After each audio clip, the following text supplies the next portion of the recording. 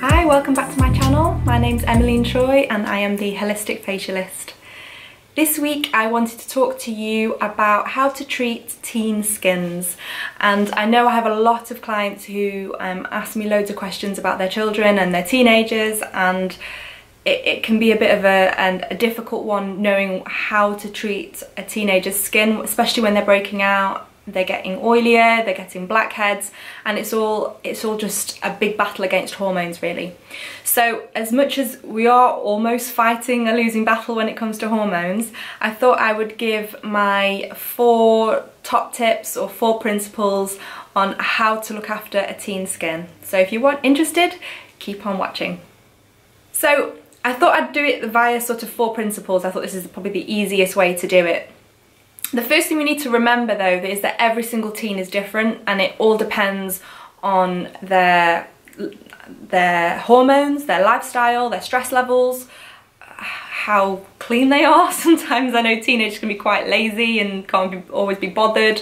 So every teen is different. But if we kind of look at your, your average teen, as it were, who is going through an oilier oilier phase. They're going through a lot of bodily changes, so and hormonal, mentally, um, blackheads, oiliness, spots, acne will kind of fall in the stereotypical teen phase. And um, yeah, the first thing that I would recommend is doing a really good cleanse twice a day if possible. I know it can be hard to get teenagers to clean themselves sometimes, but if you can, get them to do a cleanse twice a day. So ideally, when it comes to cleansers, I recommend something that is as gentle as possible, but you also want something that's effective. Now, Nimue do a fantastic um, skin range called Youth, and it, they do cleansers and um, face creams, spot creams, all that sort of thing. So if you do have any interest in that and you want me to um, have a chat with you, by all means, you're more than welcome to email me at bookafacial at outlook.com. Um, but otherwise you want to find a really nice gentle cleanser something that contains salicylic acid and salicylic acid is brilliant it's like um like a tornado and it comes along and it spins out and just cleans all the pore through and that's what you need when you're struggling with that um, oily skin and those block pores. So salicylic acid cleansers are very good. You want something that is as gentle as possible, has the most minimal amount of fragrance, and I know teenagers prefer or most younger people prefer like a foamy gel cleanser. You want to avoid anything that's going to foam too much and anything with sodium lauryl sulfate or we also call it SLS because that's going to really dry the skin, irritate it and just damage the skin's natural barrier and we really don't want to do that. So look for a nice gentle cleanser, avoiding any soaps. The only soap I I, I don't want to say I recommend, but that could be an option is something like a charcoal soap if they're struggling with spots and pimples. I'm always a bit wary when it comes to soaps and they generally have a lot of harsh ingredients but if you can find one that's a little bit more oil based, a bit you know organic, then that's a potential option using like a charcoal one but otherwise uh, the main one I would recommend is a salicylic acid cleanser because that's going to give you the best results and hopefully look I say look something that's a bit more gentle on the skin. I wouldn't say they necessarily need to tone afterwards. Sometimes it can just be another step that's unnecessary and unless they're very, very, very oily, it's not always necessary in my opinion anyway. So if you can just get them to wash their face in the morning and before they go to bed, that's a great start. Using a salicylic acid cleanser just to really deep cleanse the pores and yeah, really give the skin a good clean. So that's the first thing. The second thing I would recommend is to hydrate the skin. You want to use a face cream that contains something like hyaluronic acid and it's also very, very lightweight. I wouldn't recommend using a really rich cream or don't just say, oh, you know, darling, just use, use my cream because it's not designed for um, a teen skin. They do need something that's a lot lighter and more hydrating. I, um, I would be very careful in doing anything that's too rich only because it's just going to sit in the pores and I would also be careful in saying to your, your child just cleanse your face. Your face is so greasy, you don't need a moisturizer. You do still need to hydrate your skin.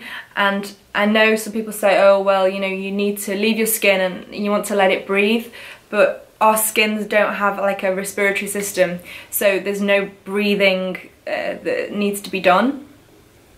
So in that sense, they do still need to hydrate their skin. And even if they are quite oily, oil and hydration are two very different things. So they do need to hydrate their skin after they've done a cleanse. And even something like my face cream, um, Emily Tsui face cream, it's very light. It's um, got hyaluronic acid in, so that's gonna really hydrate the skin as well. So that's the second step. The third thing I would recommend is to treat the skin. So there's three different things you could do here. The first thing I would recommend is to do an exfoliation once a week if they're very, very oily and spotty, possibly twice, but start off with once a week. And I've shown you a million times the Nimue exfoliating enzyme. This is a really good cleanser because it's going um, exfoliator because it's going to help get rid of those blocked up dead skin cells. And I would recommend something that's more of an enzyme base than a granular one because if they are quite pimply and spotty, you don't want them scrubbing their skin and an enzyme just eats up dead skin cells and cleanses the pores that way instead of scratching it. When you start scratching it, you're going to make them the skin more inflamed, more angry. Um, you can also spread spots as well. So I wouldn't recommend anything that's granular. Maybe go for more of like an enzyme. And you can also get enzyme peels as well. So that's not like a glycolic peel.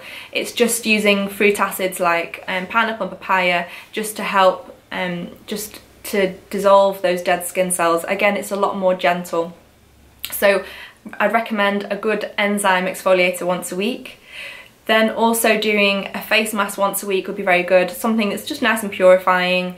Um, clay base to be good and it's also got maybe some tea tree or some lavender. Anything like that should, you know, should be fine. A nice clay mask once a week.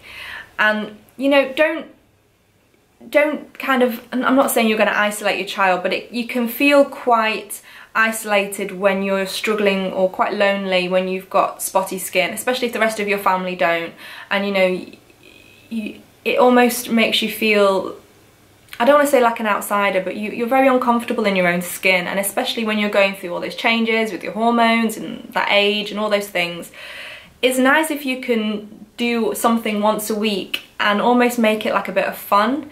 So maybe do a facial with the family, you know, once a week, um, do an exfoliation, everyone puts a mask on, it's a bit of a laugh and you all kind of, you know, strut around your lounge with a face mask on, do some selfies, you know, kind of make everyone join in and make it more fun and, you know, you're all going to benefit from doing a face mask once a week. That's, you know, that's a, a taken, um, a given, sorry, not a taken. Um, but if you can get your, your teens to do a face mask once a week, they'll see an improvement and just going to help to clean out the pores again, um, get rid of any excess oil and, and just give them a better result with their skin. So face mask is the second thing. And the third thing I would recommend is doing a really good spot treatment. So if they find that they have got quite a few spots using a good spot cream is brilliant. Um, this is the Nimue Y Skin their youth range which is fantastic. It's got um, salicylic acid in as well. Again it just spins and cleans out the pore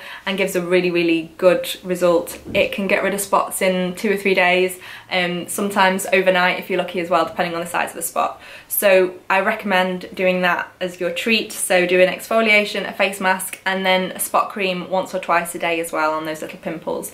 Anything that's just gonna take out any inflammation. The fourth thing I would recommend is to protect the skin. You might think, do they really need some protection? They're gonna be sat in a classroom all day, it's, it's grey outside, it's a bit dull, it's, you know, it's not sunny, they're not on holiday, they don't need it and um, your teen might argue, I don't want to put another layer on, I can't be bothered. you do need a sun protection on every single day, no matter how old you are. And teenagers especially because they are, they generally are out a lot with their friends and they've got the blue lights from their phones, laptops, tablets, all that sort of thing. And then if they've got pimples that they've been picking and then they go out in the sun there's a good chance they're going to scar and pigment. So you do want to make sure they're protecting their skin with a good sun protection. Um, I recommend the Nimue SPF it's an SPF of 40 um, it doesn't block the pores, it's not going to cause acne. You know, I use it on clients who have acne and it, you know, they don't have any problem with it. So I really recommend a good sun protection they're teenagers, they're young and their skin is so new still and vulnerable so if you can protect it at that age it'll do them so much good for in the future. So definitely, definitely recommend using a sun protection every single day.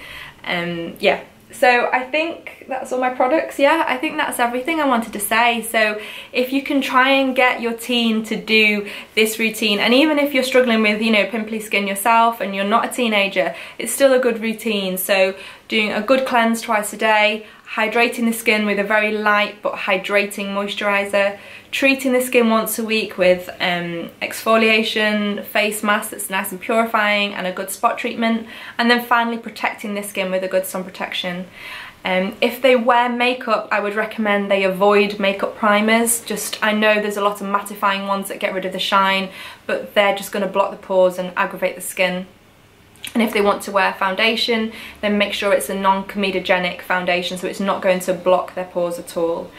They need to make sure they're washing their makeup brushes as well regular, just so they don't spread any spots and bacteria, and make sure they wash it off before they go to bed because I can guarantee if I go to sleep and I've got um, makeup on, not that I've done that in years and years, but I will guarantee wake up with one or two spots. So definitely wash the face before they go to bed. Um, I hope you found this interesting. Thank you so much for watching and I will see you again soon.